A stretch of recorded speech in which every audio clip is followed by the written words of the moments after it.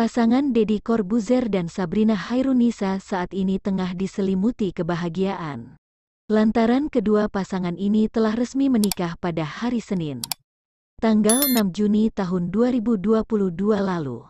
Menariknya, pasangan artis ini telah berpacaran selama 9 tahun. Wah, lama banget ya, Ma. Acara pernikahan Dedi dan Sabrina yang berlangsung di tanggal cantik ini juga digelar secara tertutup dan terbatas.